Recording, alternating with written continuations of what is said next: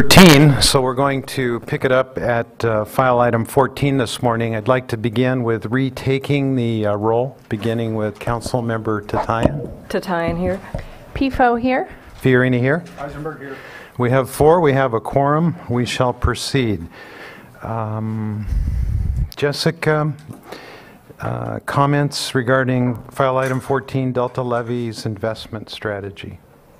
Uh, no, this is our routine update. I think we're going to start with a summary of the October 12th work session, and then we have a um, white paper, a draft white paper that uh, we will present to you, and then kind of a general updates and uh, also a revised schedule of the program. Turning over to Dan Ray. Thank you. Thank you very much. And uh, With your permission, I think we might do it in the opposite order, if that's all right. But I wanted to start by introducing uh, Dar- Darcy Austin. She's our, uh, leads our uh, um, adaptive management unit. She's got a, she's been with us now, maybe what, year? Uh, Less than a year. Yeah, but she came to us from the USGS, where she'd worked for six years, and prior to that, she was part of the CalFed Science Program, and also worked for the San Diego Regional Water Board, and she's got her graduate degrees from San Diego State. Um, You'll recall that one of the issues that was raised when we uh, began working on the levee investment strategy issue paper was the way in which fish and wildlife habitat was protected, impacts to it were mitigated when levees were built. We had quite a bit of testimony, uh, particularly from in-Delta RDs about those issues, concerned about the costs of those activities. So we had asked the science program to do a review of the um, information available about what the, those efforts had accomplished and what they cost and suggestions about improving them. And so they've completed a draft of that review. And Darcy's the principal author, so I- she's going to brief us on it. Okay, thank you, Dan, and good morning to Chair Fiorini and the council. Good morning, Um, Darcy. I, I am just going to correct this really quickly. Um, This was a team effort, not just with the science program, but also with our planning division. And um, uh, it took a few months for us to get together. Um, uh, But we first want to announce that we have a uh, public comment period open for this draft paper, and it began on October 15th, and it will run through November 13th. And staff will be requesting endorsement of the issue paper in January.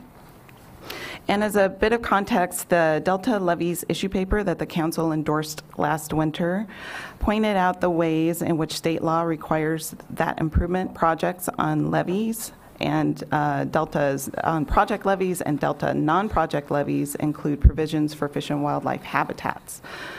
For project levees, the Central Valley Flood Protection Plan describes structural and non-structural ways to promote natural, hydro, uh, hydrologic, and geomorphic processes, increase riparian woodland, right, I'm sorry, riparian wetland, floodplain, and shaded riverine aquatic habitat, and promote the recovery and stability of native species. And this is pursuant to Water Code Section 9616. The draft of the flood protections plan conser- uh, conservation strategy has been prepared recently, and the council's planning staff and science program staff came together and provided comments on that conservation strategy. Within the Delta, uh, under the subventions and special flood control projects programs, there's a dual commitment to levees and fish and wildlife, which also provides a foundation for collaboration between local levee maintaining agencies and the Department of Water Resources and Department of Fish and Wildlife. Improvements to project levees and non-project levees that are funded by Delta Levee Special Projects Program must be consistent with a net long-term habitat improvement program and have a net benefit for aquatic species in the Delta as determined by the Department of Fish and Wildlife. State-funded levee improvement projects must protect fish and wildlife habitat, fully mitigate any damage to channel islands or berms with significant riparian habitat, and not result in a net long-term loss of riparian fisheries or wildlife habitat. And as provided by Water Code Sections 12314 and 12987, the Department of Fish and Wildlife ensures that there is no net loss of and long-term improvement of fish and wildlife habitat in conjunction with state-sponsored levee work. Um, I'm sure you're all aware that implementation of levee-related habitat projects faces a variety of regulatory and liability constraints, due in part to the need to balance flood risk uh, reduction and habitat improvements. The council will recall when you were considering the Delta levee issue paper that we heard from a lot of the uh, local Delta reclamation districts about how these provisions of state law affect their improvements, levee improvements, as well as some suggestions about ways to improve implementation of these provisions. So with that long bit of context, I, I will uh, remind everyone that uh, we uh, had a request from Carl Wilcox back at the February council meeting to, to perform this review. And one of our first steps was to convene an advisory committee, and this included folks from California Department of Wildlife, Department of Water Resources, Delta Conservancy, National Marine Fisheries Service, U.S. Fish and Wildlife, and Reclamation District representatives, which included some of the Delta engineers. Um, and our research team, as I mentioned before, did include uh, council staff, the planning staff, and science program staff, uh, and two of which were our Sea Grant fellows. Uh, what we did was we coordinated with the state agencies and other stakeholders, and we obtained descriptions of completed levee related habitat projects. And we received and reviewed about 15 projects, but they included multiple sites. Um, the sites can be found in Appendix 5 of the full reports if you want to take a look at those. We evaluated the project effectiveness in terms of their stated objectives, if they had performance measures, monitoring and results, and whether or not there was a demonstrated benefit to uh, species. And what we learned uh, was that the majority of the reports used vegetation monitoring as a means of evaluating success. And um, there were not a lot of fish and wildlife data available in these projects. And uh, in many cases, the, the existing data were not consistent among the projects. So we weren't able to compare the effectiveness of different habitat type, uh, habitat improvement projects. But we do want to emphasize that there were no requirements at that time to um, perform wildlife monitoring, and many of these projects were done before the Delta Plan was adopted and uh, the adaptive management framework that we have now. Similarly to the, the environmental data, we had um, issues trying to accurately assess the cost of different habitat options associated with these uh, levee enhancement uh, projects. One of the things that we, we learned was that there are many challenges associated with uh, setback levees, especially in the Delta. But um, modifying existing levees to extra wide levees may be a more cost effective option and may be more likely to be supported by landowners. Um, and in lieu or in combination with a setback levee or an extra wide levee, a planting bench on the waterside slope may be installed to establish channel margin habitat. Um, now, this just basically allows a little bit of habitat to be on the water side of the levee without compromising the structural integrity of the levee. So you get a little bit of habitat benefit along with your flood protection. Our recommended next steps, we have seven of them. I, I, think maybe one of them wasn't included in the staff report, so I'll just note that one. The first, the first one, which is in your staff report, is apply the adaptive management framework to future projects, and this is to facilitate scientific learning and reduce uncertainties. And the one I think th- that is missing is develop appropriate monitoring and performance measures. And if you're looking at the full report, it can be found on page 43. Um, and this just allows us to assess effectiveness in providing benefits to target species. Our third recommended next step is to track the incremental cost of habitat improvements. So segregating those costs, which was what we had a sort of a gross cost estimate or cost number that we were that we receive from the agencies. So if they segregated the costs, it would help us understand how funds have been invested in improving habitat in the Delta. Our fourth next step is to carefully consider trade-offs associated with on-site and off-site mitigation, and that kind of works in two different ways. Um, It's important to ensure that mitigation takes into consideration the life history requirements of the target species. In other words, if you're trying to mitigate for salmon, lo- loss of salmon habitat, it's better to mitigate on the channel margin in the migratory corridor. And then on the flip side, there are other considerations that you might want to um, factor in, such as the size and complexity that would be offer, offered by um, supporting a mitigation bank. Number five, we have use landscape scale planning to guide project siting and design. In general, larger and more complex habitats will serve to benefit a wider array of wildlife. Then number six, measure fish and wildlife response through a standardized regional monitoring program. So instead of developing these monitoring programs on a project-by-project basis, you get more bang for your buck and you get um, more, a a better look at if- the effectiveness of these projects if you do it on a regional, uh, um, on a regional basis. Uh, Number seven, continue to use the Delta Levee Habitat Advisory Committee as a venue to discuss incorporation of these habitat improvement components into levees projects. And this group is comprised of representatives from the Department of Water Resources, the Department of Fish and Wildlife, some of the reclamation districts, including the engineers and other stakeholders. And um, it's just an opportunity for those folks to collaborate and um, plan and adaptively implement habitat projects under their jurisdiction. So overall, um, council staff's role will be, moving forward, to uh, report on performance measures, including the extent of newly constructed shaded riverine aquatic and riparian forest habitat, and use of those restored habitats by uh, target species. For the planning division specifically, uh, they would like to work to incorporate the findings of the levee-related habitat review into the Delta Levee investment strategy. Um, For example, to the design of conceptual projects, cost ranges for environmental measures, possible recommendations regarding increased funding for monitoring habitat effectiveness and then to provide early consultation on covered actions, which would help project proponents understand their requirements to have an adaptive management plan, and also for their CEQA mitigation measures to be at least as effective as- what is called for in the Delta Plan. As far as the science program staff, uh, we provide adaptive management liaisons, and we are happy to advise project proponents on, uh, during project development, and we work very closely with our planning staff to do that.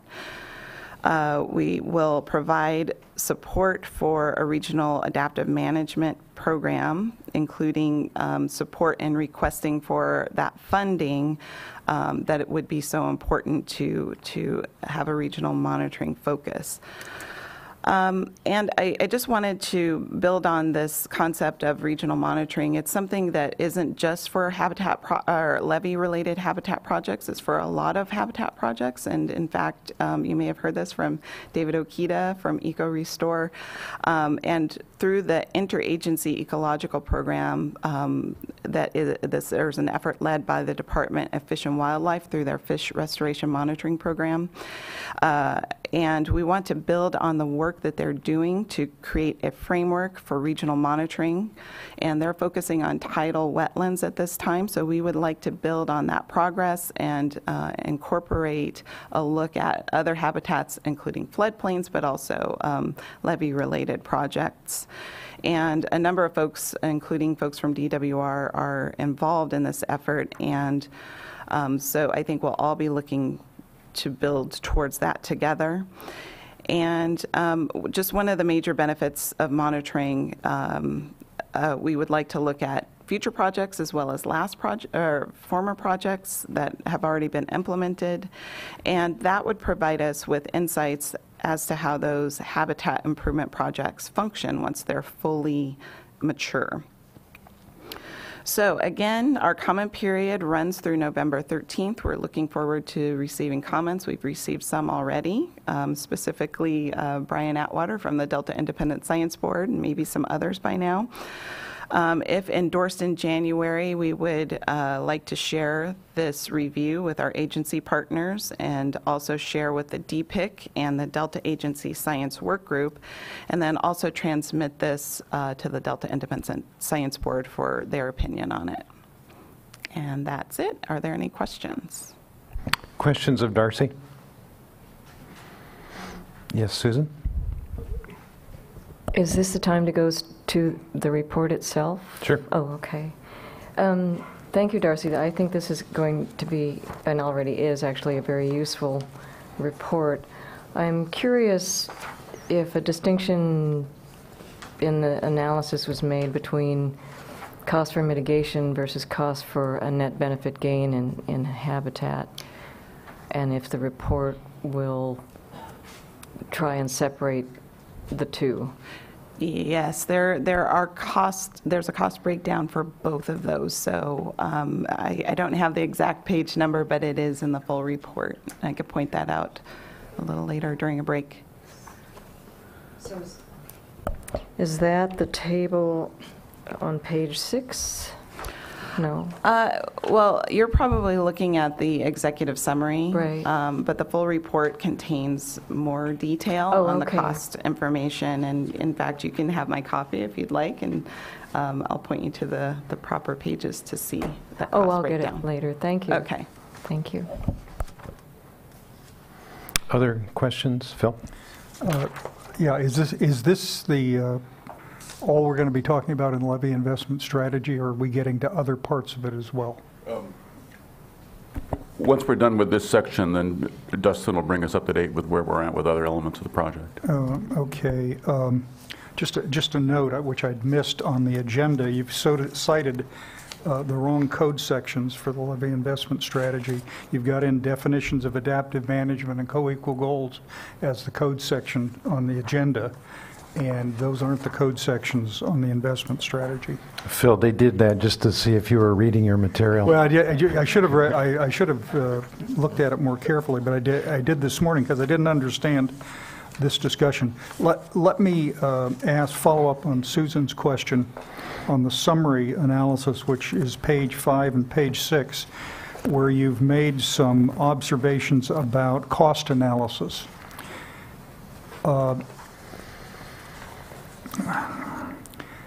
You refer to, uh, you say, the true cost of restoring riparian habitat is still uncertain. Is true cost a term of art in expenditures, or what is that? You know, I unfortunately don't have an answer to, to that. I didn't do the cost uh, work myself, so I don't have an answer, but we can get that for you. Okay. Uh, Is, is, uh, by the way, I like the, what was it, five, six, now seven uh, points that you're talking about. I think that's a good way to, to analyze the issue, but I was uh, puzzled about how you rank the, um, the order appearing on page three and four. Many other challenges in doing a setback levee not unique to the Delta, which include finding willing landowners to provide the land, uh, complications in protecting existing structures, easements, utilities, increased cost and time necessary for project design and permitting. As I understand it, that is entirely taken from the work done by this interagency committee and Fish and Wildlife on pursuant to their independent statutory review? Or is this our staff's evaluation? Yeah, this is our staff's evaluation. Is it more important or less important to have willing landowners than other features?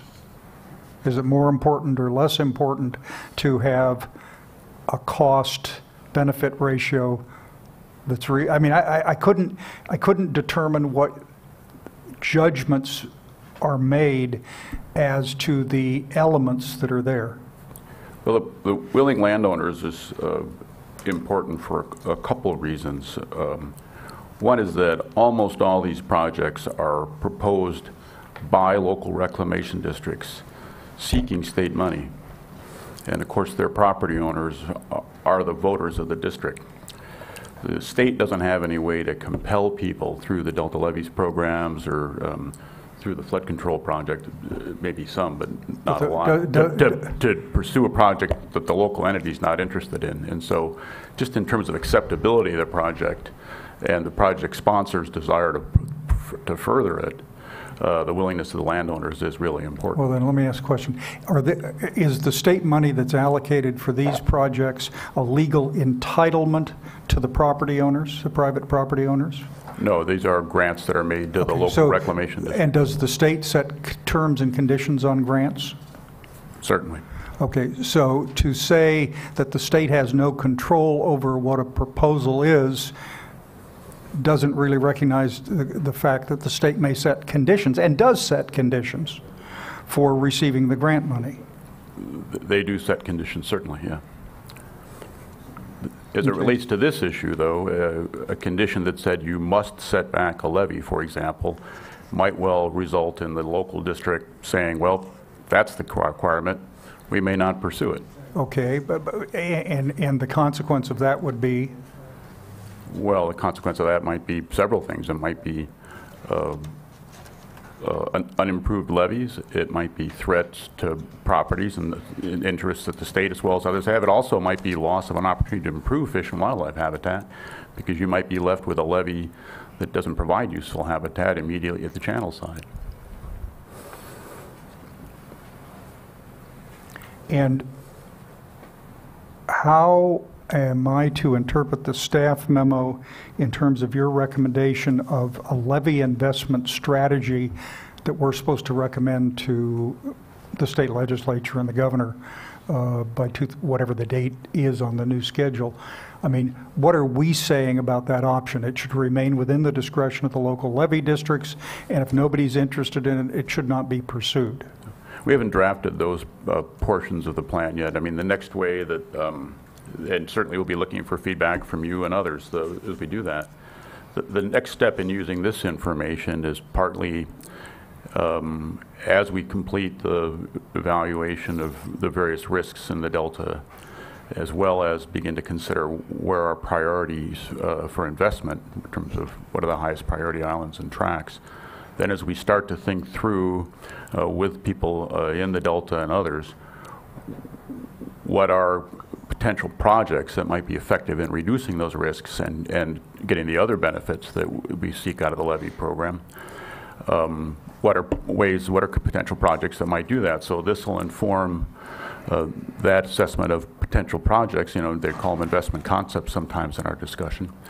Um, And then uh, also, I think some of the recommendations that they have here about the ways of, of the- these programs should be gathering information and reporting results will probably also be recommendations that we'll suggest to be part of the levee investment strategy. Well, just, just focusing on the six, now seven uh, bulleted points in the summary report, starting on page six, is it, is it, may I read this fairly by saying a condition of receiving grant funds should be the inclusion of a state-approved adaptive management framework?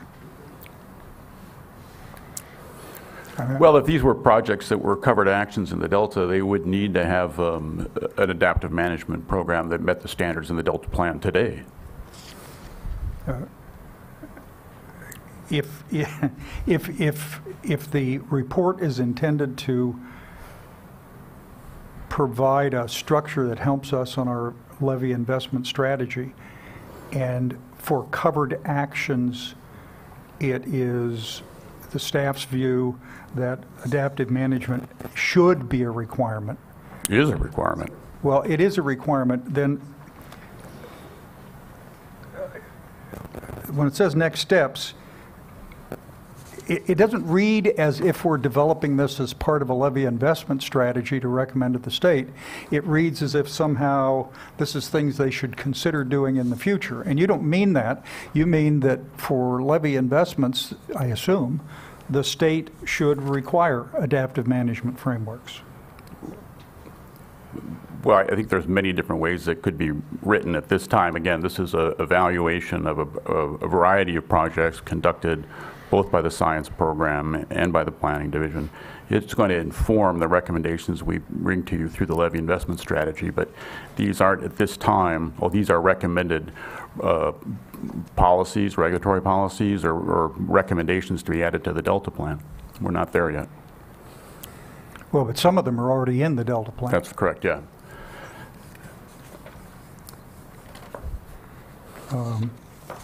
I guess it's fair to say that as a critique of what's gone on in the past, I think I understand this, but as a tool for what's in our investment strategy to recommend, I don't have a clue what these mean. Well, there's a couple things then uh, we could talk about. One is they've identified certain types of project designs that, uh, particularly through monitoring that's been done um, through the Sacramento Area Flood Control Authority, uh, do seem to have promise for effectively enhancing habitat for anadromous fish along uh, the the margins of levees.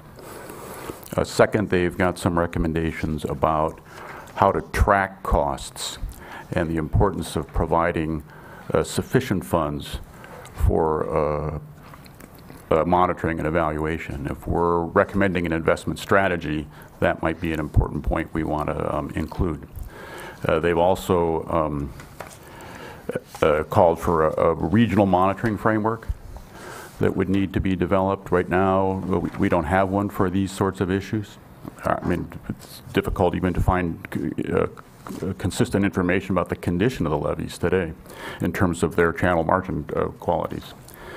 And then I think, um, finally, and this gets to a point that uh, both the local reclamation districts have raised, as well as, I think, Council Member Johnston also uh, raised it, thinking through the appropriateness of uh, kind of regional approaches to ha- habitat enhancement in these areas, perhaps perhaps mitigation banks or other regional strategies, as opposed to just uh, small project-by-project mitigation actions.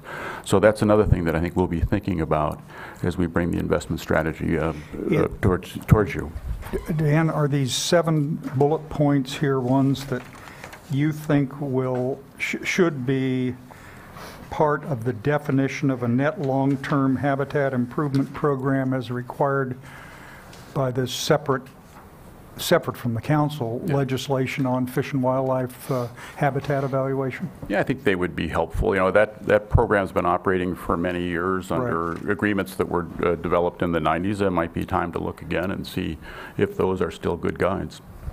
I mean, it- it, it strikes me that um, the general discussion on levees within the Delta views habitat restoration as a, an afterthought to the actual improvement of levees by most interests, certainly by the Reclamation District. Not unimportant, but not fully legally required. It is legally required, but it hasn't been, is it fair to say it hasn't been pushed as a major priority?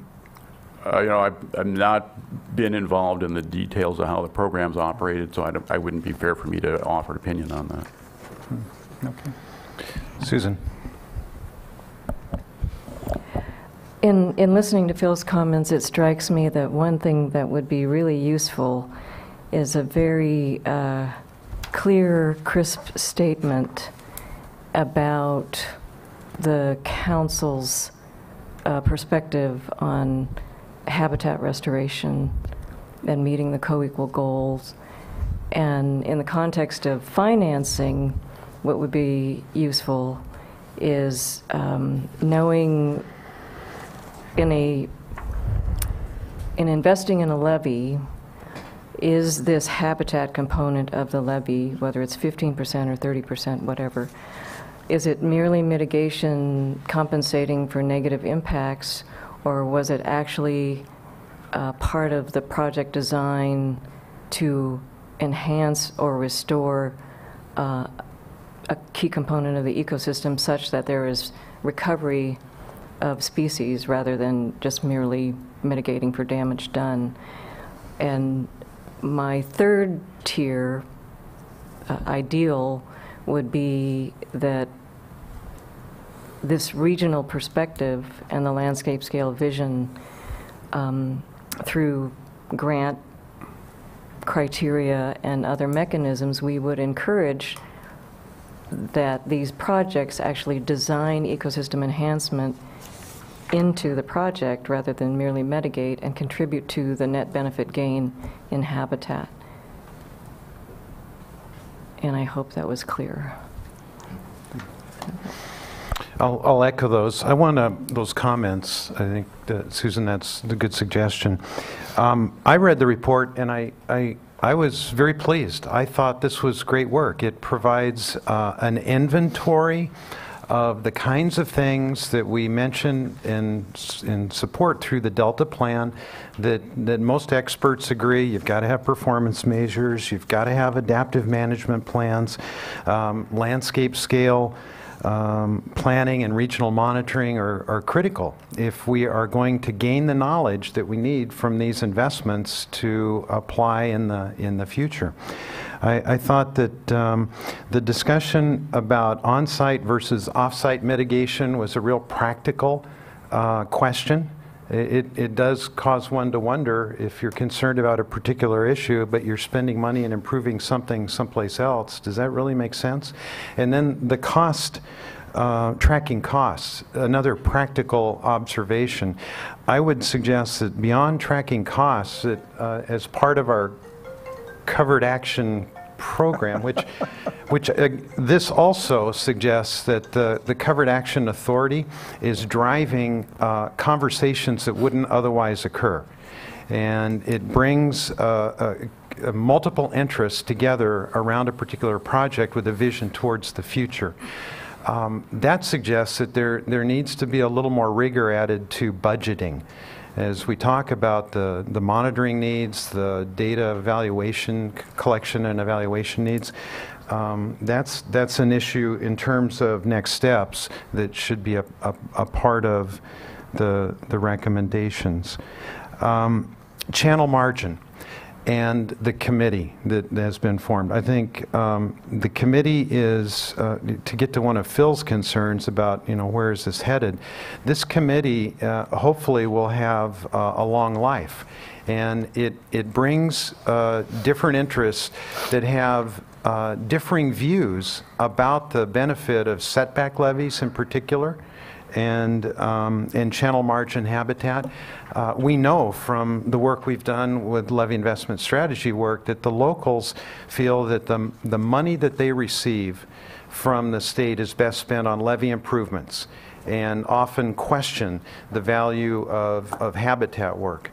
Uh, and particularly with setback levees, we know from the Delta Plan work that we've done that the opportunities are pretty limited in the Delta, or, well, not pretty, but they're, not every levee uh, uh, lends itself to um, being set back this, um, this thought about the widening of levees uh, and, and having less impact on uh, landowners and uh, the land side is intriguing to me. And with the, the, the committees, including the agencies as well as the RDs and the local engineers, this is a way to begin um, developing the kind of trust that George Hartman was talking about yesterday that we need to have between these regulatory requirements and in Delta users and, and, and local expertise. So I think what you've done in this report is identified a lot of really good opportunities, uh, set a vision for the kinds of activities that need to occur,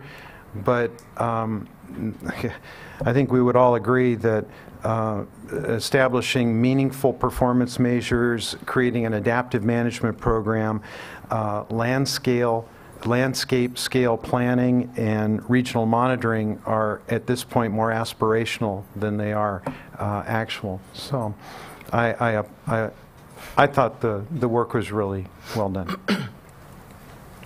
Any other comments or questions? I have I I want to raise an unrelated, a related issue to this. It's what Dan and I talked about yesterday, but it's under the, the staff memo discussion under next steps. Why don't we- why don't let Dustin bring us up to date, and then maybe maybe have a time to do that. All right. Okay, so we're ready to shift to the next step. Darcy, thank you. Dustin, Thank you. it's all yours. All right. So the biggest topic today that we're going to talk about regarding the Delta Levee investment strategy is a revised project schedule.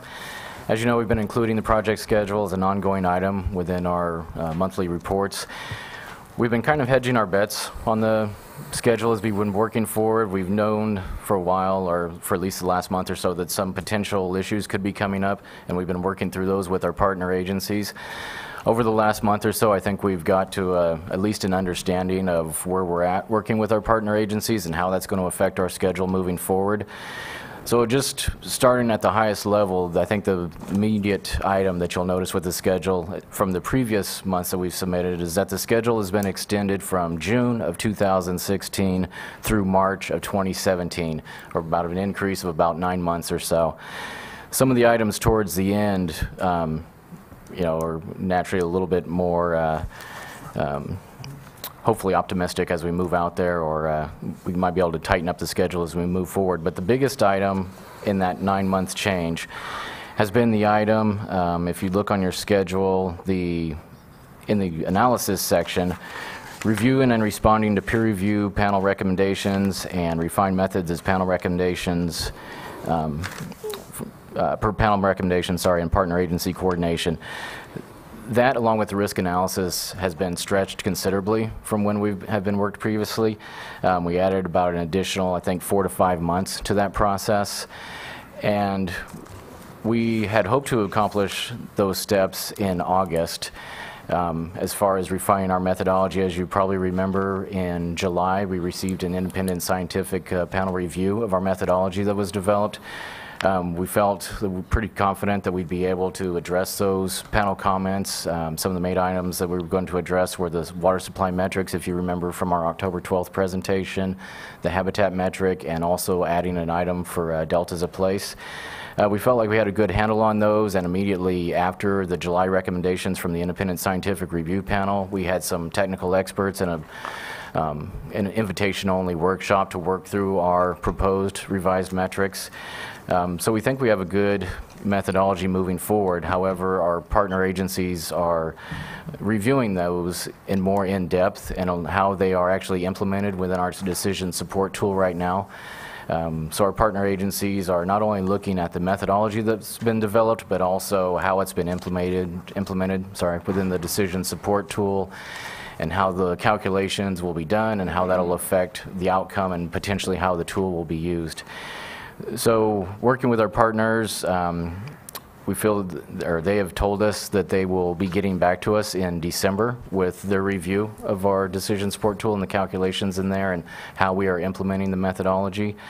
Um, So once that's done, we'll be able to move forward with the remaining steps, and that will be the conceptual project design that Darcy's work, as she mentioned, is playing into, how we could um, work in the habitat information that they've brought forward, along with developing other potential projects. One of the items that our consultants is looking at is bringing the Delta levees up to a PL 84-99 standard, how much that will cost and what the risk reduction will be for- as a benefit for that. Um, But we want to hold off on moving too far into those analysis until we reach this agreement with our partner agencies and make sure everybody's on board um, so that we don't have a significant course shift um, once we're into the analysis. So that's the biggest item as far as the analysis. And as you can see through the schedule, the, the extended analysis portion ripples through the other items. That'll include the strategy and policy develop, I'm sorry, not the policy development. um, Yeah, sorry, the strategy and policy section, and also the CEQA items and the OAL, um, the report to the legislature that we'll be preparing also.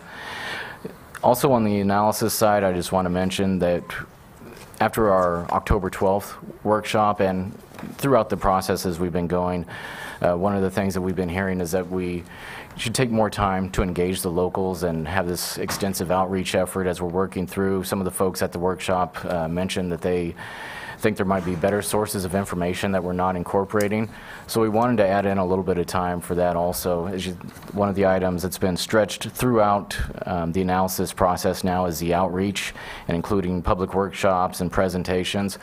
So that's not going to be a 24/7 item, but we will be touching on that throughout the months um, as we extend throughout the entire analysis. So we hope to do a lot more stakeholder engagement and making sure we're incorporating the best available data that is available for our use. Um, The other item I'll just touch on with the analysis is that we've allowed a little bit more time for um, deliberation with the council. I think in the previous project schedule, we had rolled in not just the, um, the risk analysis and consequences that you saw presented previously, but also um, deliberations of actually working through portfolios. Um, After having some of the, our discussions, we think it would be more informative to split those out. So the council deliberations in January through March are really going to focus on the results of what we bring out of the um, risk and consequences after we've had our methodology well-defined, so that we can pin that down again before moving too far into our analysis. And then the council will be re-engaged once the methodology and risks are accepted, when we start getting into the concept projects and portfolio development. Dustin, I should also mention that recently the chair and I met with uh, Bill Edgar, the chair of the Central Valley Flood Protection Board, and their executive officer, and they have expressed an interest in holding a joint meeting or workshop. Um, The law requires us to consult with the flood board, and while we're working with them as part of our project team, we thought that might be an appropriate suggestion to hold a public workshop jointly. Oh, I appreciate you. So expect that Thank you. perhaps early in the next year. Thank you, Jessica. Um, That's the bulk of it. I don't know how much detail, if you want me to go into more detail, we can. If you have questions about the schedule itself, I didn't, I don't, I won't touch on every line item unless you want me to. Well, let's see where the questions go. Okay. Questions? Comments? Uh, This is something Dan and I talked about yesterday. At the end of the process, what I want to see is a tool that not only allows us to do the island by island evaluation, but also allows us to follow the direction in the, in our enabling statute that directs us to consider non-levee flood mitigation options as alternatives.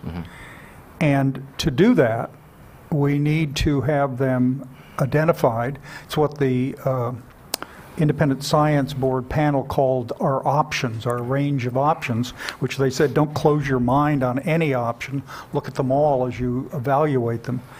And uh, under the next steps and, and all of that, I suppose it's possible the last bullet point, develop levee improvement investment concepts, e.g., is enough, but for me, uh, I think we need more specific language that we're going to get, uh, that we, that we want to talk about the items, whether it's, whether it's flood proofing, which is generally the elevation of existing structures, or the provision of elevated land for uh, emergency response evacuation, uh, whether it's a wider bridge as with the uh, uh, Bethel Island, uh, that was one of it. I mean, it is not simply building higher and wider levees everywhere they exist just because that's what people like or are used to.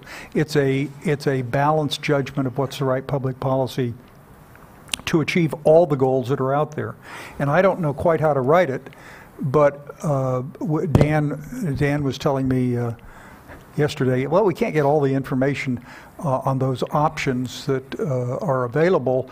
Uh, And, you know, re- realistically, we don't have clear final options, even on levee improvements. We have estimates based on past practices and best views of professionals who do it. But conventionally, they do not apply the same factors. Could an expansion of the Yolo Causeway in certain parts of the Delta provide a more immediate flood protection of both life and property than improving levees? The answer is yes or no, or maybe, and what would it cost, and what should we do?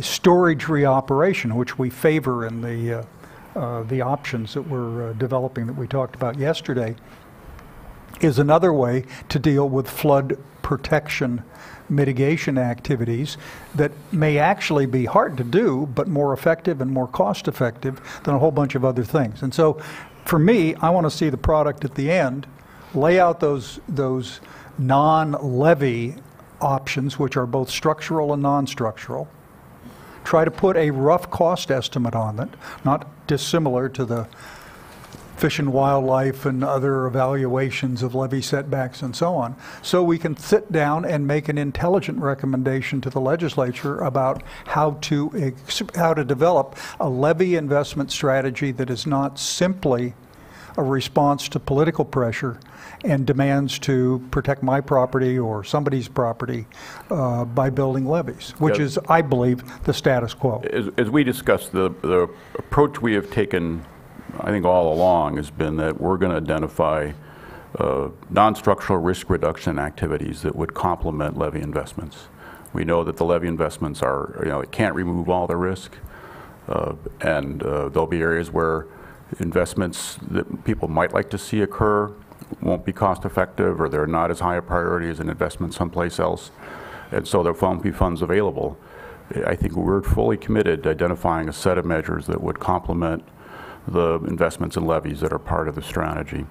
Uh, A challenge is that uh, a key thing for non-structural uh, risk reduction activities is they're they're quite, their efficacy is quite dependent on people's behavior.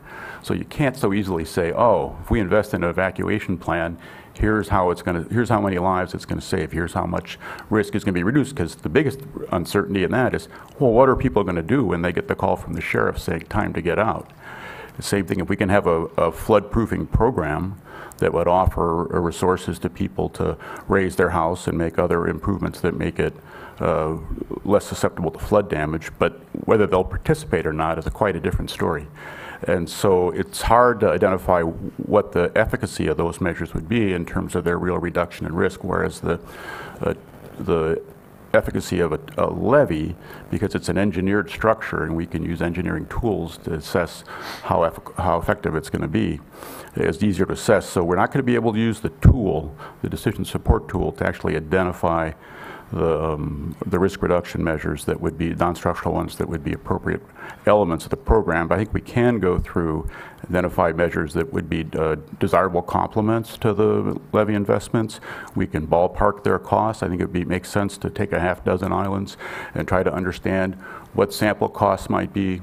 And I think that would help us understand uh, whether it made sense to recommend that a substantial or portion of the funds that might be available for uh, flood management uh, be allocated for those activities. That would be a substantial change from current policy where almost all the money goes solely to levees and non-structural measures get very little access to resources that are available for flood management. Phil?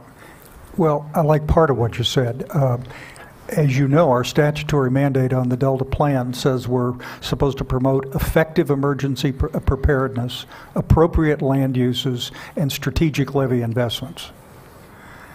And I'm a little concerned about the notion people won't change their behavior, they won't evacuate when the sheriff calls, because that's really, that's kind of the New Orleans dec- declaration. Mayor Nagin didn't want to pull the trigger and delayed the issue of, a, of an evacuation order. But even when the evacuation order was given, there were still a lot of people left. Lives were lost significantly. But the difficulty of something is not simply the answer, well, then we just have to do, do, do things that are simple, which is spend taxpayers' money for all the state of California to do something that doesn't require human behavior to change. So local governments can put more people in the Delta flood risk, and that's okay, we'll pay for it. People can refuse to evacuate if they want to, we'll pay for the damage and all of that. Uh, that, that's not an, that's not an investment strategy. That's a declaration that it's politically tough and we don't want to do it. So although I, I agree with you that the options are probably, as you recommend, at the end of the day, if discretionary funds are to be set out by the legislature and the governor for uh, flood protection w- within the bounds of the Delta, categories should be established that serve all of the legitimate ways to deal with it. And indirectly, that will have an impact. But we're, we need more clarity on those options, and we need ways to evaluate the co- costs and benefits that cut across the categories of spending. I mean, if you said, well, gee, for $4 billion, we can get a, you know, reasonably high level of protection. It's not perfect. It's not solving all our problems. Okay, the, the public policy question is, if you had $4 billion to spend, where would you get your biggest bang for the buck? The most effective risk reduction? Probably just saying, don't add more people at risk, and secondarily, set up an emergency response system that tries to minimize the risk of, of loss of life, which is why you focus the alternative actions in non-urban areas where if you have to evacuate 20 people, that's different from having to evacuate 20,000 people. So, Thank you. Mary?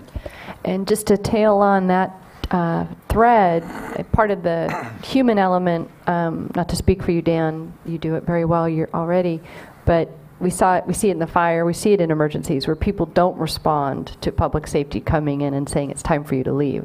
That, that may be part of your point, Dan, is that sometimes even though it's an emergent situation, people don't want to leave their home. They think they can solve the problem themselves or they're just too attached and they don't want to leave it behind. That's just part of the human element. Um, Mr. Chairman, I wanted to ask Dan, uh, the principles we discussed yesterday regarding water conveyance and um, principles for operations to achieve the co-equal goals. I'm wondering how those items are carried forward into this item. Um, we're talking about levees, which are certainly a part of conveyance operations and certainly part of the water system operation. And I know we're, we're of these are still evolving, but how are they already connected or are they? Well, water supply is one of the metrics that we're evaluating, or at least the impacts on water supply uh, within our Delta Levees investment strategy. So we're trying to capture the effects of, you know, what does it take to make a sustainable supply of water, either based off of water quality, either protecting, you know, pipelines and infrastructure, or through Delta Corridor. So we're looking at those different aspects of how levee improvements could uh, mitigate impacts to water supply. Certainly, one of the sets of uh, investment alternatives that we'll consider would be uh, a set of investments that would uh, provide through Delta Conveyance. Provide through Delta Conveyance or improve? Improve through Delta, Okay. that's fine, yeah. Thank you. And then on the ecosystem enhancement discussion that council members had earlier, how are we coordinating with the United States Army Corps of Engineers? Because they have a levee vegetation policy that creates challenges where some may see we should plant uh, vegetation on the levees that would help assist the ecosystem and the ecology of the delta, and yet the Army Corps of Engineers at a federal level has conflict uh, with that proposal. And I think it's, the details are still being worked out, uh, as I understand that, but that's an important component of what expectations are and what opportunities may be. Yeah. You're correct. It is still being worked out, and that is probably going to be a while before they actually reach a conclusion on that. But that's something that would come into play, I guess, when we recommend levels of protection. One of the items, um, for example, if we recommend a certain level of protection for a levee so that it could, or that reclamation district could participate in federal reimbursements, um, that's going to be one of the things we have to look at. Even if we get them to that level, is there going to be a maintenance requirement for vegetation still that they would have to implement to um, to get into the rec- I'm sorry, the federal reimbursement program, and whether or not they're willing to do that, and also I guess the consequences if they did implement that vegetation, um, what impacts would that have on the uh, the habitat also? The- We do have the Corps of Engineers staff participating uh, on our technical teams. Uh, This is a difficult issue for them to work through because they're certainly, um, the Sacramento District's not in charge of this, you know, uh, it's a nationwide issue. Um, An important uh, test that will come probably sooner rather than later is going to be uh, when SAFCA tries to improve its levees uh, through the pocket, and funds have been o- offered to them uh, through the Department of Water Resources Urban Levee Program. SAFCA's got a very thoughtful approach for identifying which trees on the levee today probably ought to be removed, uh, as, w- and which ones can probably be retained. And so I think they're going to be uh, seeking Corps' uh, determination ab- about that application, and uh, that'll give a a lot of insight into approaches that might work in other reclamation districts and uh, in other communities. And are we building that ev- evolving policy in this document? I didn't see it, so I may have missed it. I mean, a do good we point. want to refer to that? evolution, current practice, proposed practice, and what it means to the Stewardship Council in this document, because they are very much related, Good point. in, in my opinion. And then lastly, Mr. Chairman, I think I had one more point. Um, Nope, that's it. Thank you. Okay. Others? Um, One observation, it, it, it sounds to me like we need to revisit the expectations for the work of the levee investment strategy tool. Because I, I hear from Phil a desire to include uh, cost analysis of flood proofing versus levee improvements. And um, and uh, I think, um, not necessarily today, but maybe next month in the update, uh, it would be good just to review the, the conditions that were set forth when we in, uh, began the work on the levee investment tool. And, and then how these um, ancillary uh, costs or improvements, uh, costs of improvements, uh, will be evaluated um, along with the decision support tool? Or will, in fact, they be folded into and included in the, in the decision support tool outputs? So um, just revisiting that issue and clarifying for the council what, the, what we can expect moving forward, I think will be, uh, will be helpful. Okay. Mary? Quick point on that, uh, follow-up. I didn't, wasn't able to attend the council's presentation of the modeling, but I did have a uh, solo ceremony with staff on Monday, and boy, what an, an amazing program.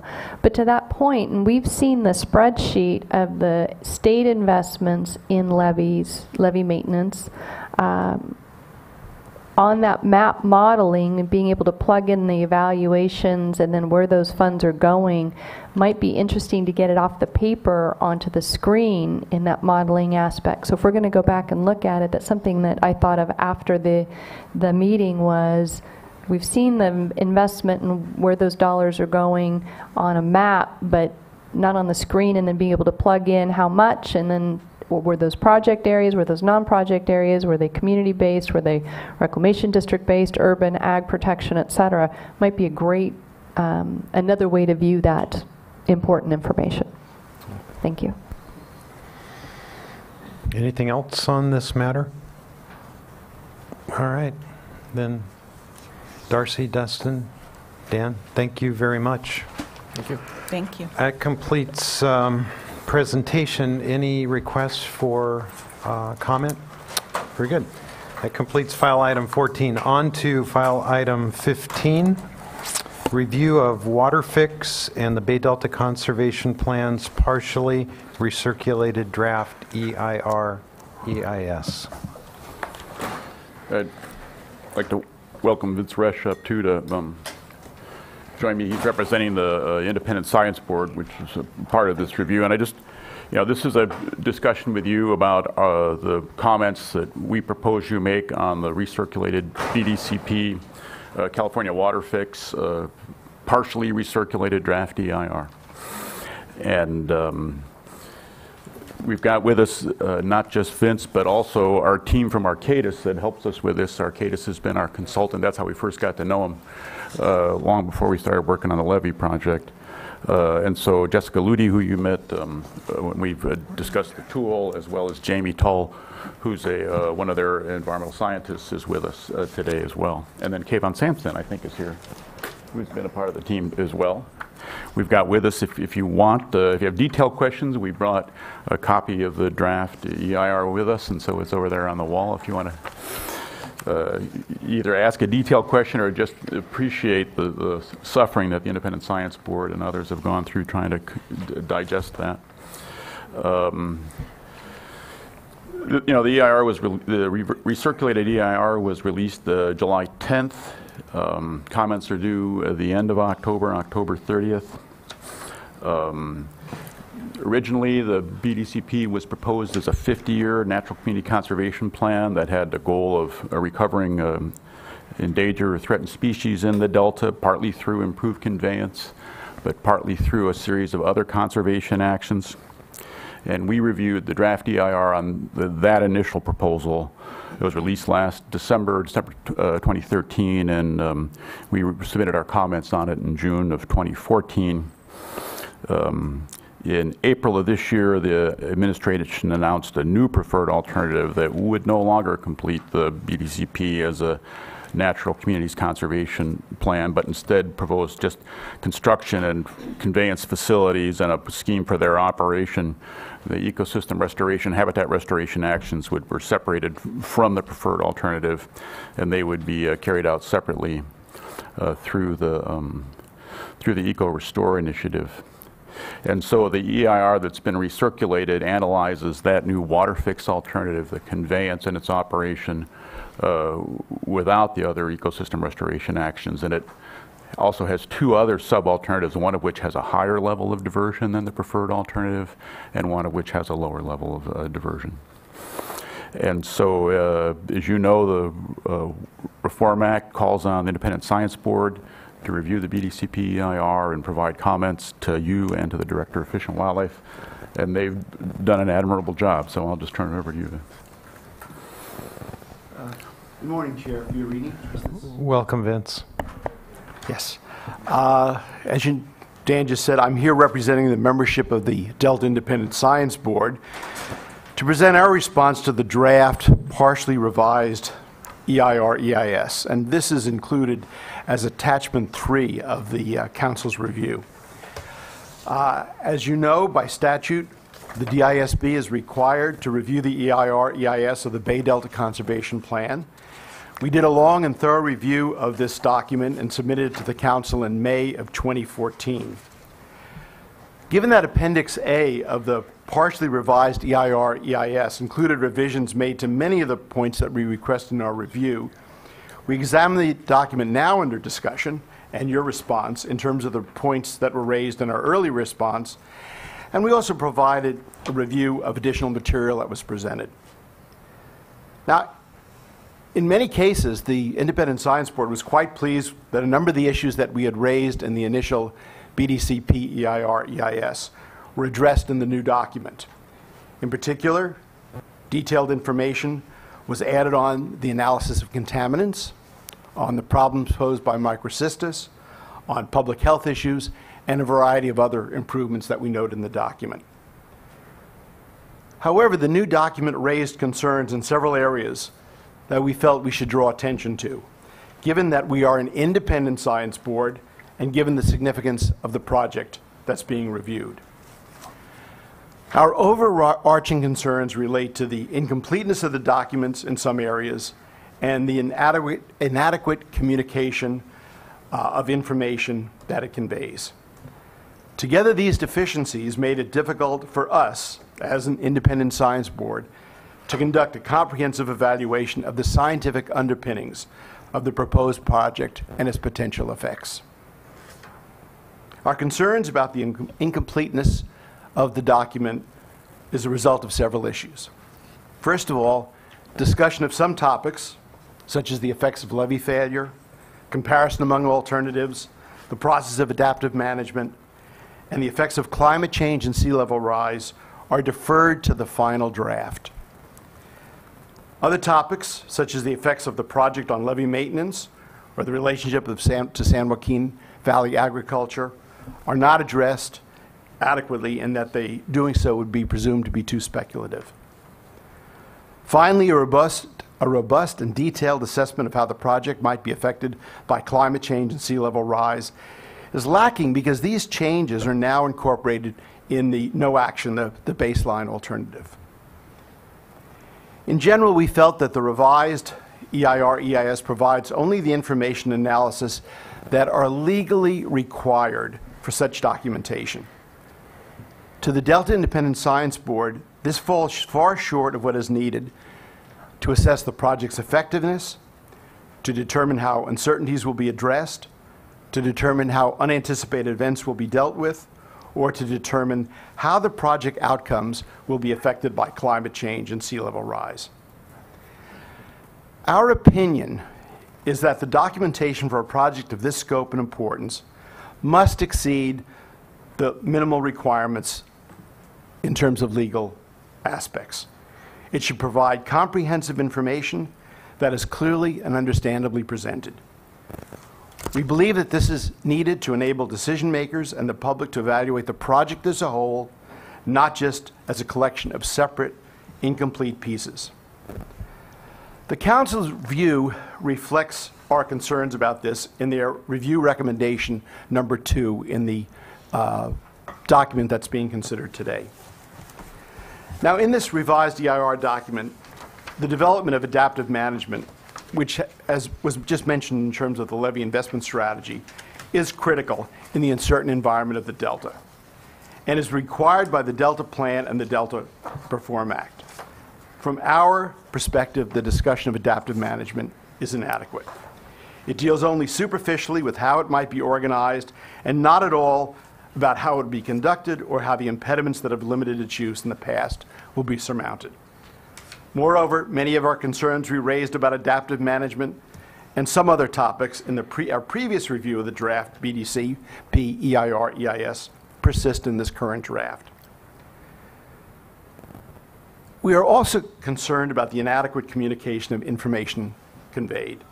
Chief among these is our growing dismay over the failure of the documents to provide clear summaries and graphics that would enable readers to reach firm conclusions about the scientific foundations of this project. In particular, the continuing absence of clear and concise descriptions of assumptions and uncertainties leave much hidden from view. So, in summary, the Delta Independent Science Board found ourselves continually stymied by the lack of critical information, the lack of assurances that the information would adequately appear in the final draft, and the repeated claim that what was criti- critical information to us should be inclu- that should be included was not legally required. Recently, four lead scientists, including Cliff Dahm, Professor Dahm, prepared a review of the challenges facing the Sacramento San Joaquin Delta. And their conclusion, that I'll read below, reflects the intentions of the Delta Independent Science Board's comments on the partially recirculated revised EIR EIS. California has the tools and the intellectual resources to manage the multiple dimensions of this problem. Through these strengths, they can achieve the state's twin goals of reliable water supply and an ecologically diverse delta ecosystem. Thank you for this opportunity to present and discuss our conclusions about the new documents. Dr. Resh, thank you. And on behalf of the council, I want to express our appreciation to you and your colleagues at the Independent Science Board for uh, all of the work that you do. You are 10 of the hardest working scientists in the nation, uh, and, and uh, we appreciate your focus on the Delta. We appreciate your focus on the BDCP EIR reviews, the, uh, the first and the most recent. And um, it's a very, uh, very clear report that we have received from you that is advising uh, the comments that, that we are going to submit as a council. So at this time, uh, council members, questions, uh, comments for Dr. Resh? Mary? Um, Not for Dr., well, I have one question for you, Dr. Yes. Rush. A minor, more higher elevation. Were you part of the original uh, effort with the BDCP analysis and this one? I'm just wondering your Yes, I relationship. was. So you've was been there for both, okay. For the thank you. past six years, yes. Thank you so much. Okay. Okay. Thank you. Thank you. Dan? Yeah, so we- we in our staff report then have uh, appended a recommended letter, uh, both a cover letter uh, to be signed by you if the council approves uh, Mr. Fiorini, and then also uh, detailed comments on the various uh, elements of the EIR-EIS. Um, And uh, they're they're attached as attachments one and two to the staff report. Um, We're raising uh, six key points uh, in these letters. First is the importance, a reminder of the importance of uh, consistency with the Delta Plan. Because the BDCP, the WaterFix will no longer be- meet the standards of a, if the preferred alternative is approved, of a natural communities conservation plan. Uh, They'll be required to certify its consistency with the Delta Plan. And that will require that they have an adequate adaptive management plan and adequate provisions for funding it, as well as that the um, uh, project that's proposed is based on the best available science. And so that's one of the reasons that it's important that the um, BDCP agencies consider and respond to the uh, ISB's comments, which we have attached uh, to our, which we'll attach to our staff, uh, to the staff comments as well. And uh, we've asked them in the cover letter to respond to them as if they had been submitted by the council. That's how we handled it the last time as well. Um, the uh, second concern we've identified, and this is described on page three of our detailed comments, uh, is the development of a comprehensive and stable project description. Um, while much of the WaterFix project is uh, described pretty completely in the EIR, other key elements are going to depend on regulatory decisions, particularly how the project is operated. And it would uh, be important that as they complete those regulatory filings, and perhaps if some of the um, regulatory actions take place before the EIR-EIS is finalized, that that final project description reflect and be fully informed by the uh, regulatory actions that they anticipate. Uh, the third issue is uh, still continued concerns about water quality. We raised this in the draft, uh, comments on the draft EIR last year. As uh, Dr. Resh pointed out, there is an improved analysis of uh, water quality impacts, and that, that's uh, good to see.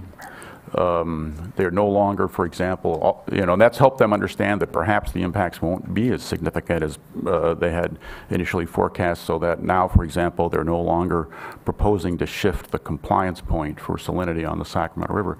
They're no longer proposing to push that inland, and so that's good to see. Uh, but the EIR does uh, point out that the, evalu the, evaluation tools that they've used for water quality are more comparative, so they can choose between alternatives and understand what water quality impacts benefits of one alternative versus another might be. They're more comparative than predictive. And so and that's one of the things that they uh, talked about with the ISB. So it's, to us, emphasize the importance of having a good monitoring program for water quality uh, outcomes as they finalize the EIR and its uh, mitigation and reporting plan, and also the importance of mitigation measures. One of the things that Arcade has pointed out to us now is that uh, the mitigation process puts uh, quite a bit of the burden on identifying and implementing uh, mitigation measures for water quality impacts on in-delta users. And maybe a, a, there's ways to rebalance that. Um, one of the new uh, effects of the project is a result of one of the benefits of the project uh, in terms of its redesign. You recall in, uh, I think it was January, we heard from DWR how they were proposing to realign the tunnels to the east so that they're no longer as close to Locke and Walnut Grove and uh, don't uh, go under uh, Staten Island, require so many facilities on Staten Island. And that's good because we've reduced impacts on those two communities and um, also on the cranes that use Staten Island. The result of that, however, though, is they've moved the facilities uh, under the McCormick-Williamson tract and other areas that we've identified in the Delta Plan as being a high priority for future habitat restoration. And the regulatory policies of the plan require that the opportunities to restore those areas in the future be protected or uh, mitigated. Um, there's very little analysis in the EIR about how the facilities they propose in that high priority restoration uh, area would uh, be affected by the facilities they proposed. Um, that includes a, uh, a, barge unloading facility and a temporary uh, tunnel tunnel material storage site that would be um, Snodgrass Slough just north of the McCormick-Williamson tract, as well as um, the potential uh, need to drill a tunnel, uh, a shaft through the middle of the McCormick-Williamson tract. Um, and those are not very well described in the EIR and the impacts that they would have both on the opportunity to restore the uh, habitats there as well as other impacts are not very clearly analyzed.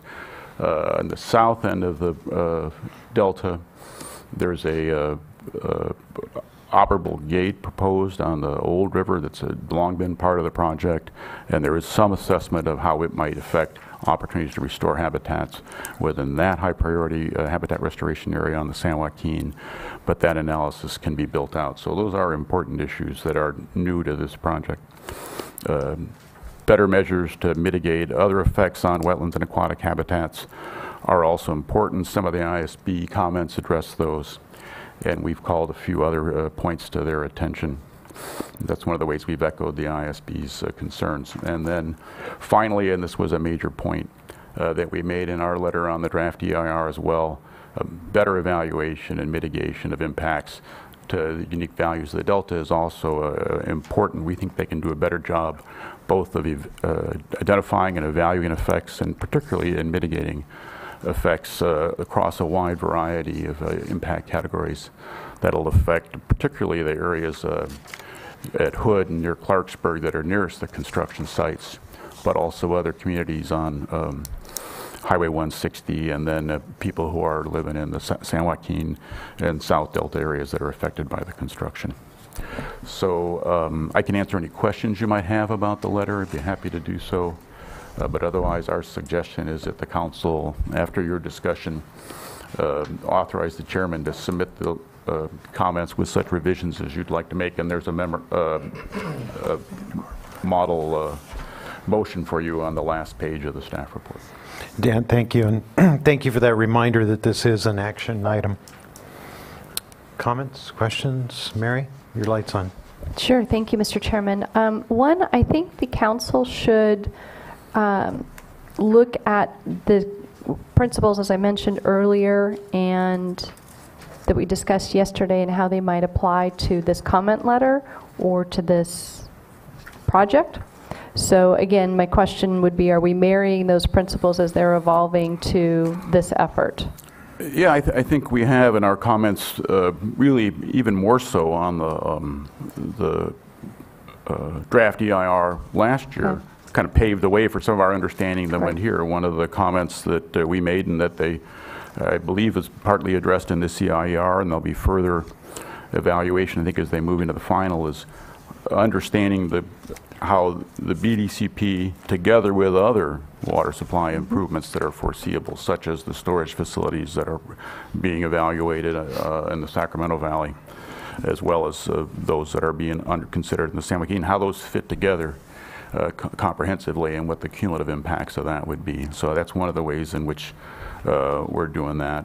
Um, And I think, too, we understand that the uh, importance of having flexibility in, in conveyance facilities and an operations program that respects the environmental uh, needs of the Delta are also reflected in these comments here. So it's our intention to m- marry the principles as we're adopting them and moving that forward with this? Yeah, and we've Okay. tried, we've tried to use Yeah. those as guides uh, as we're moving ahead on a variety of things. yeah.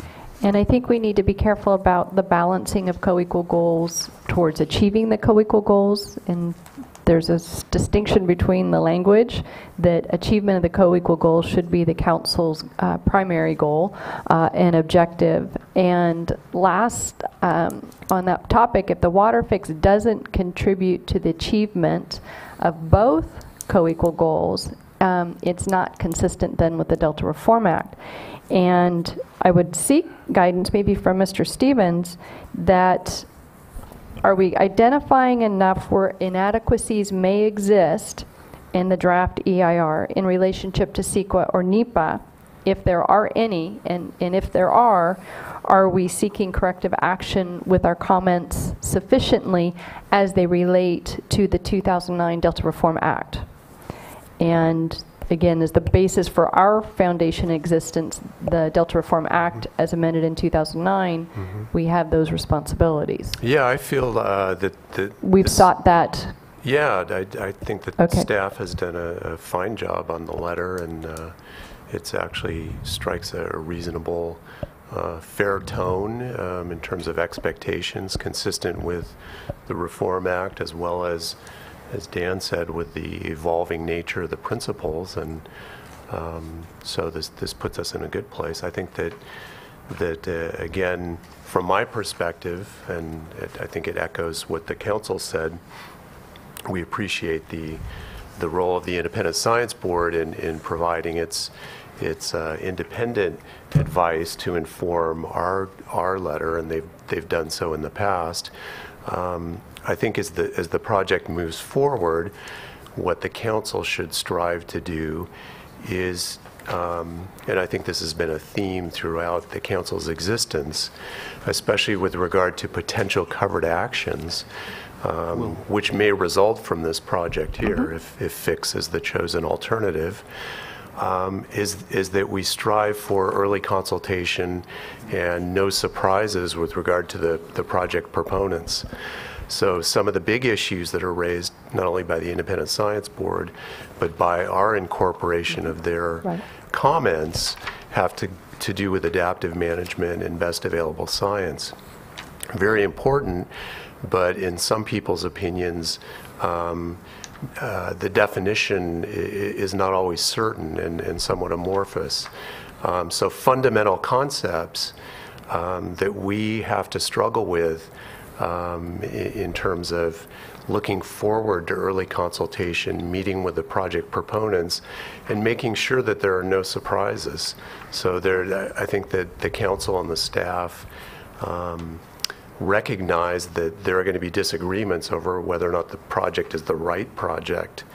But what we should strive to do, in my opinion, is to make sure that the project proponents are clear as to what the expectations are to be consistent with the Delta plan ultimately. Right. I think this, this uh, comment letter will help to pave the way, but I think that if the, the fix is the preferred alternative, we have some more work ahead of us, and it behooves us all to make sure that the expectations are clear. Well, I think there's work a- ahead and behind, I think is part of my point, is that we're created to achieve the co, the Stewardship Council was created to achieve the co-equal goals under the 2009 Delta Reform Act, and then we are also required to create the Delta Plan uh, in the covered actions that are moving forward. So we're wearing two hats in that sense, so to speak. Um, I'm seeking guidance from you, Chris. Are we, are we confident that we've protected CEQA and NEPA in our comment letter here under the Delta Reform Act requirements, which is our initial responsibility, Sure. if not co-responsibility? Sure. Well, you know, I, I think that we have. I Good. think that's the answer. That's the answer I want. I think that the, the, our ultimate goal is successful implementation of the Delta Plan. And the Delta Plan as a whole, in the aggregate, um, will, if implemented uh, appropriately, achieve the co-equal goals. Mm-hmm. We've already got in our own regulations, implementing regulations, a definition of what achieving each of the co-equal Exactly. goals is, and that's, that was actually a footnote to your principles yesterday. So let's keep that in mind. Mm-hmm. Exactly. Uh, Again, it, it, it's clear in that definition, which reflects the Delta Reform Act itself, that improved conveyance is a piece of achieving the co-equal goal of water supply reliability. Again, we look at it as a package, so it should also help to achieve the other co-equal goal in a way that is true to Delta as a place um, requirements as well. But the big, the big concern from our perspective is successful implementation of the Delta Plan. Um, And so I think that this, this letter and this potential project can be uh, uh, a piece of that, but um, the- let's keep in mind what the ultimate goal is, um, successfully implementing our plan. Thank you so much. Um, And Mr. Chairman, um, on page nine of the report, and I don't know how important this is, but I'll make a, it's a repetitive point in my comments. In the third paragraph, under um, item nine, evaluation mitigation of impacts to unique delta values, uh, th- the third paragraph on the page reads, nevertheless, the new alternatives will still have significant adverse effects on the delta's unique values that should be more thoroughly assessed and better mitigated. I'm wondering, in this context, and I'll bring up another one, why we don't have avoided in there. Would we prefer avoidance first, and if it can't be avoided, then uh, assessed, then avoided preferably, and if not avoided, then better mitigated? It just seems to be a, a sense of priorities for me versus just accepting um, the significant adverse effect. Okay, that would be a comment. And then in the letter itself, my apologies. Uh, And Dan, you commented on the California WaterFix fitting together with other comprehensive solutions for statewide water management, and I agree that this uh, conveyance and, and um, the plumbing is part of that overall view, but they're not tied together. California WaterFix hasn't tied water storage into the fix, um, nor is it tied together with any other comprehensive solutions. So is that a point we would like to make, or should we make in our comments that the council would see this in part as meeting the needs of the state, not a sole project? Because it's losing that, it's, it's, it's being looked at in isolation from the entirety of the system. Well, I, uh, and I- and this is where my, my knowledge of, of the requirements under the law come from being a practitioner, not a lawyer, so I always have to be uh, cautious. I, th- I think that they've done a reasonable job in describing the kind of geographic scope of the pro- their project. Um, Our comments in the EIR the last time, our draft comments said, that's fine, but you need to, in your cumulative impact section, think through how this is going to work together with other reasonably foreseeable projects. And the draft that they recirculated now improves on that analysis. And I suspect we'll see additional improvements because they're still responding to comments on the draft uh, from last July. They're still responding to those comments. I think we'll see additional evaluation of that in the uh, final. So I, I don't, you know, there are many things we said in the original uh, letter, and I think we reiterated um, those in, in the cover letter in terms of things we thought were important to deal with. And um, I I think they'll, uh, we can be confident that that'll be taken care of as we move ahead, yeah. Okay. And then, Mr. Chairman, lastly, on page three of our staff report, um, items D and E is another area we, we are recommend, I'm sorry, recognizing significant impact, and our recommendation is to- for um, the agency to better describe mitigation for impacts or wetlands and aquatic habitats. And down in E, specify performance standards that will mitigate the project's significant impacts. I really would think we should seek avoidance before we accept significant impacts. Uh, Avoidance first and then mitigation. I just think that would, uh, and again, I understand that's in the staff report, but I think it should be part of our uh, I think effort. that is a point we made uh, in the, in the comments about uh, wetlands and other aquatic habitats, but I think your point's well made about the approach to the impacts on unique delta values. They've done, I, I think, we- I- you know, my own mind, I give them credit for the changes they've made in the project that have reduced impacts, particularly in the North Delta. In your communities in the South Delta uh, suffer a little more impact as a result. Um, But I, I I think these guys have done quite a bit of work to try to avoid impacts so far. Maybe there's more that can be done, yeah. I, I think that's the point. There's more that could be done and possibly should be done, and we just want to make sure we, we have a high goal, not a low one, a high aspiration. Thank you, Mr. Chairman. Thank you. Judge, did you have a question? All right. Phil? Well, I want to repeat what I said two months ago when we got the, uh, I think it was two months ago, when DR DWR responded to the Science Board report. I thought it was a cavalier dismissal of the Science Board comments, kind of a pat on the head, and neither politically wise nor governmentally sound, since it is consistency with the Delta Plan that a covered action will be based upon in front of this council.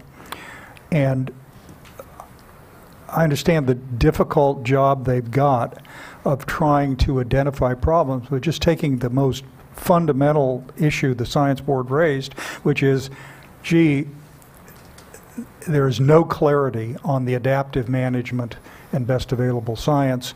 And it's, the- you didn't say it this way, uh, Vince, but uh, the the tendency is to try to punt on issues that are complicated and difficult to resolve. The reality is, everybody's promised to do, I mean, adaptive management's legally required for us, but it's also part of the law in many other cases. They've already said they want to do it. The question is what, when, where, and how much is spent, and who pays. I mean, that's, that's the deal. And that, of course, raises the hackles of the water contractors and the interested parties, all of whom want to reduce their spending and not have uh, uh, Dr. Rush's of the world uh, interfere with whatever they want to do with the, with the project. But for the state of California and for the council, we've got to have as complete a set of documents as possible. And that's why couching this in terms of expectations, which I think is a smart way to do it, is sensible. But the pressure uh, eh, represented by the, the response uh, documents that were uh, sent to the, sci- uh, in response to the Science Board will show that there's a natural inclination to push things over when they can't resolve them right away.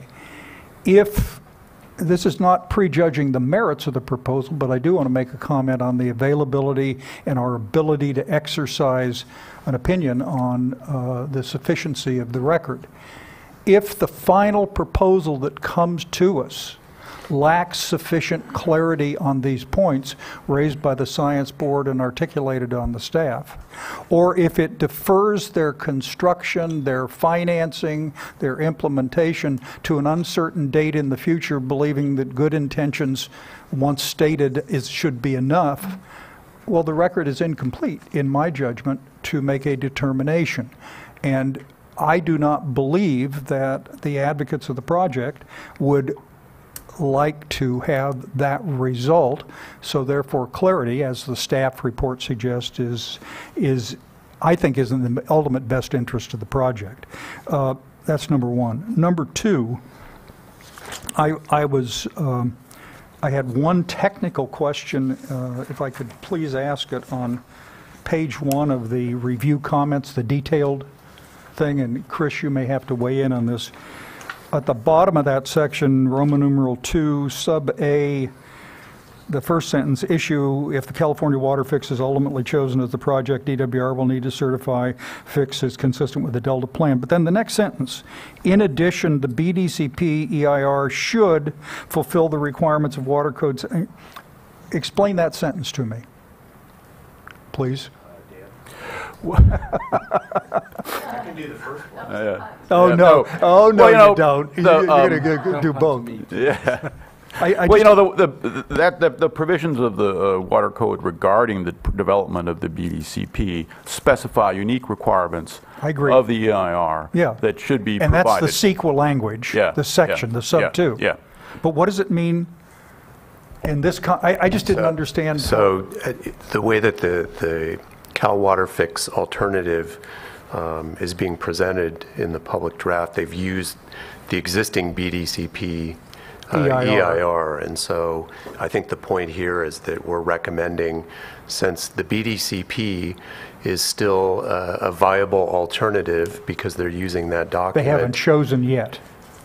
That's my understanding, that Yeah. they haven't chosen yet, that it's still a feasible alternative. We're recommending that since that's still in play, the applicable provisions of the Delta Reform Act should be complied with. So- So they should go through that analysis, Okay, uh, the CEQA analysis that's laid out Could I, for could I the make a BDCP. suggestion? That, I didn't draw that conclusion from reading this sentence.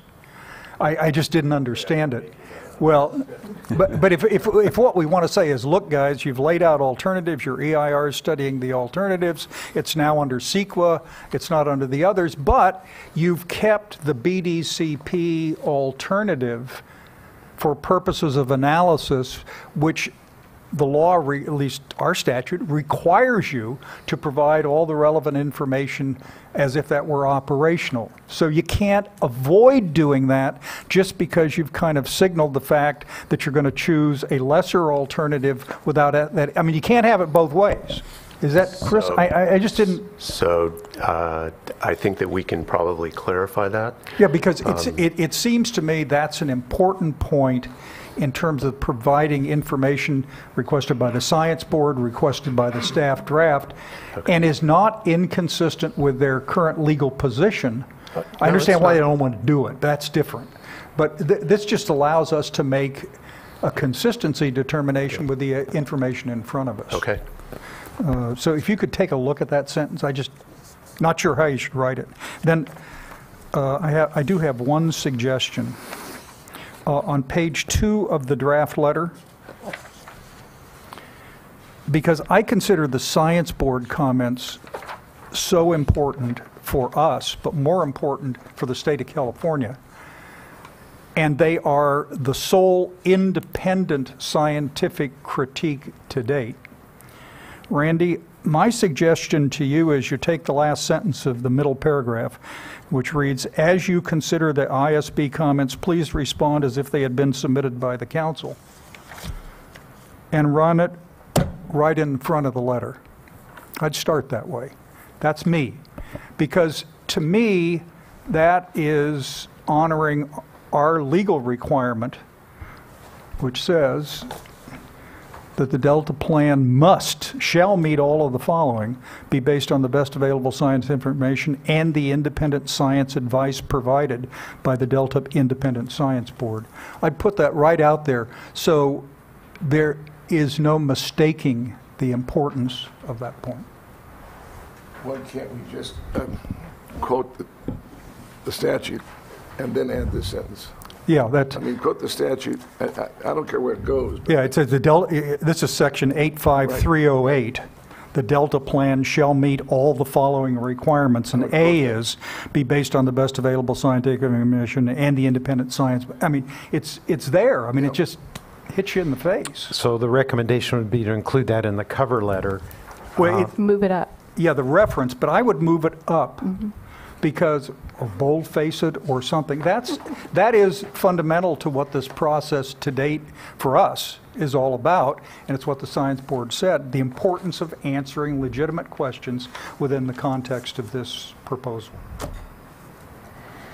Uh, We probably have to include a caveat that the Independent Science Board that's advising us uh, chose to go beyond the legal requirements of the traditional EIR document and has offered advice on I, I on make a, that's that. why I asked the technical question on page one of the report. And, and Chris pointed out that while it's true, a CEQA standalone might not require those analysis, the proponents have chosen to keep as an alternative they are studying in the EIR, the NCCP alternative, and to argue that therefore, well, we don't have to answer what the NCCP would require, even if we're considering it. Boy, that's, that's grounds for reversal. Yeah, they can't do that at, at the end of the day. They got to answer at least the questions, even if they choose an alternative that standing alone, if they start it all over again, might not require it. And to be clear, I don't think that's I don't their think that's position. No, I don't think it is either. And, and I think if we look at tho- those unique requirements, I think there's seven of them, or six of them. The one that's most relevant to the comments we're making now is the requirement that they consider the effects on water quality. Uh, The other key provisions were ones that we had gone through previously and uh, are, I think, awaiting the final EIR and we anticipate that they would be addressed in that process. You know, there's a, this, this report that Cliff and the gang produced yesterday, there is a terrific little section back here that is helpful, I, almost explaining the issue.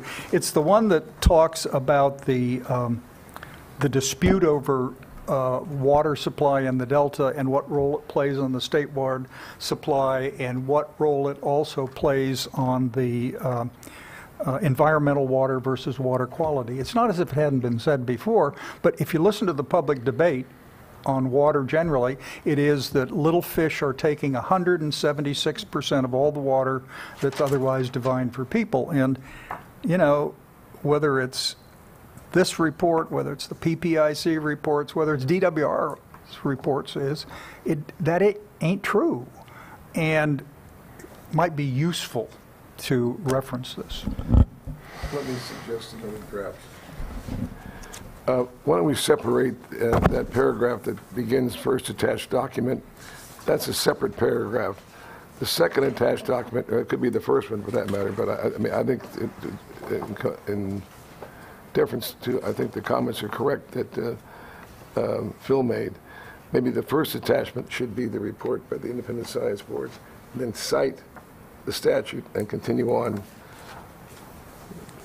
with that. Uh, Is is there any reason why one one attachment is first and one second?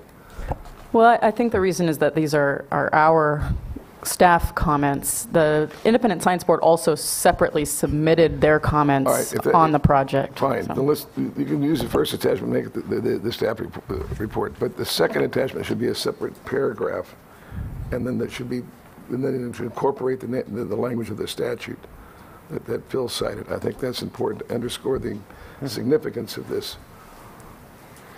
Okay, we can do that. It's, I don't recall exactly how we presented our comments the last time, but it sounds, what we're suggesting is very similar. Yes. By the way, Randy, the, uh, the Mary, ch- and- the- I'm sorry, the chart I, I mentioned in this report appears on page 21 called How Much Water for the Environment, which I thought was one of the simpler explanations that the public political debate is not always related to the facts of the circumstance. Okay, thanks for that. Mary? Uh, And to that point, uh, the bullet, most of the controversy over the supply of water is over the 1%, 1% or so of the water used to protect endangered species of fish. So I th- I too thought that was an interesting point in the report, so thank you, Cliff, for that. Um, And I support is that- Councilmember, That's the 1% of the 200,000 Yeah. acre feet that fall annually in good years, Um, average years? I fully support uh, Councilmember's uh, consideration to put the independent science board report in the front of the letter, breaking out the paragraph as Judge Damrell has suggested. And I would just add one brief uh, addition, where we, where we talk about the ISB completing its review and make part of that our council's comments, I think we could further identify its independence by stating it's an independent review, and then the ISB's recommendations are independent. That, yes, we agree with them, yes, we want to move it forward, we want to highlight them, we want to make them part of our comments, but we also want to highlight that they are fully independent of any council determination or staff input. I mean, it's all the science boards. So it elevates not only the concerns that the ISB has commented on, but that they are truly an independent body. And I think that might be an important clarification for others to consider them um, in relation to our comments and the ISBs. Okay. Anything else? Last, last comment. As, as we, as we get to the end of the, what we now call WaterFix and EcoRestore and all of that, the tensions will increase on issues that really shouldn't deserve. I just want to commend the staff for working their way through the complexities with all the political tensions that are out there. And it's, it's, it's a, uh, it's first-rate job in constructing the comments. I understand the difficulties, and I just appreciate the work a lot. And to the science board people, thank you for the, uh, thank you for remaining independent as a group of scientists. Thank you for that. So um, this is an action item. Are we ready to um, take action? Did you want to seek any public comment on this item? Uh, I think we would like to, but we don't have any uh, Perfect. requests. so. Then, uh, Mr. Chairman, I would be happy to uh, accept staff's recommendations as they've been provided to all of us and further work with you on the finalization of the letter to take in the comments that we have all made and uh, have that be supported in the documentation and communication moving forward. Okay, we have a motion. There a second? Isenberg seconds.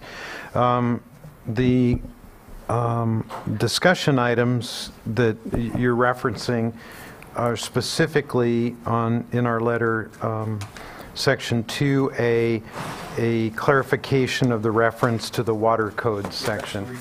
Okay. Okay. And then um, clarifying the role of the Independent Science Board, citing the statute uh, as they are to advise us and to emphasize that they are an independent science group. Was there anything else? Yes, that was- and the, um, where we're talking about significant impacts, or frankly, any impacts, we don't just seek Avoid first, then mitigation. We seek avoidance first and then mitigation. Thank you, Jessica. Okay. Okay, so um, uh, that's to clarify the motion. Uh, Yes. And the second is okay with that clarification? All right. Any uh, discussion on the motion? I think we're ready for the vote. Tatayon I. Piepho, aye. Damrell, aye. Fiorini, aye? Motion carries unanimously. That concludes file item number 15. File item. Real briefly, I I think we would, you know, think about what comes next here. Because this has been almost the easy part, trying to get these letters out. And now, uh, the Wait real... a minute, wait a minute. You said that's the easy part? Almost the easy part. Almost. But uh, as, as- as Chris pointed out, you know, the, the key next steps are kind of the continuing consultation with the BDCP agencies about the project.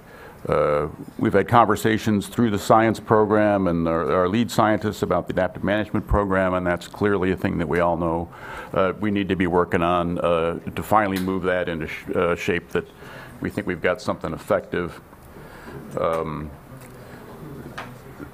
They're also, they'll be seeking, as we pointed out, the permits from the fish agencies and the Water Board, and it seems like that'll happen over uh, the dozen or so months, so the council has the opportunity to participate in the Water Board's hearings. And uh, we'll need to be thinking about that with you, about what, if any, role you want to play in that. We're expecting an economic impact report to be updated. They did one on the uh, draft BDCP when it was released last year, and I'm told an update will be available. And uh, the water contractors are going to need to make some decisions also during this coming months about uh, their commitment to the project, and that may have obvious impacts. So it'll be a while before we get to certification of the Delta Plan, and we hope to use this consultation process and the uh, opportunity to participate in other decisions as a way to move your, uh, uh, uh, move ahead the issues you've called to our attention.